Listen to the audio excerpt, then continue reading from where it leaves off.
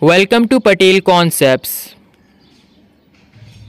When was India Brand Equity Foundation found?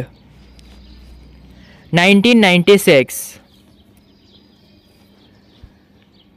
When was Digital Yuan app first released? 2019. When was Digital Yuan first released?